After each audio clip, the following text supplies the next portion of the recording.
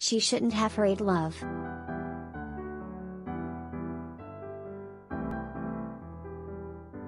Phil Collins' ex-wife, Orianne Cevey, announced on Thursday that she's divorcing her husband of one year, Thomas Bates, blaming the marriage on the pandemic.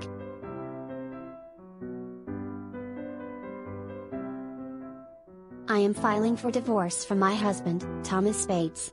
I believe the emotional distress of the COVID quarantine caused me to act in ways and do things that were out of character, she began her Instagram statement.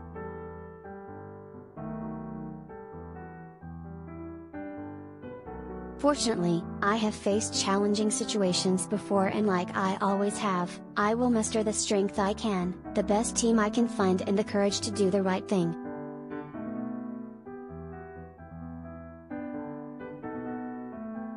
Cevey, 47, thanked her followers for the support but added that her intention is to let the attorneys handle the proceedings behind closed doors, which is why she posted this statement on her personal account.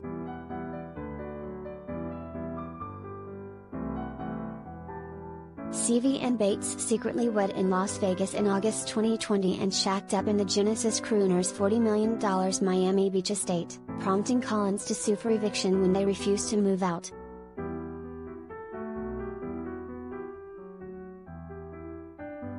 In Collins' lawsuit, the In the Air Tonight singer claimed Cevey and Bates took control of the property by a show of force with armed guards who surrounded the property. He also claimed that the new couple changed the home's security codes.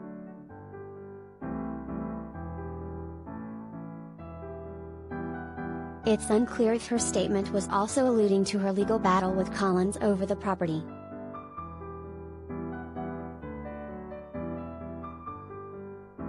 Collins and Cevey were married from 1999 to 2008. They share two sons together, Nicholas, 19, who is filling in for his father on drums on Genesis' current tour, and Matthew, 15,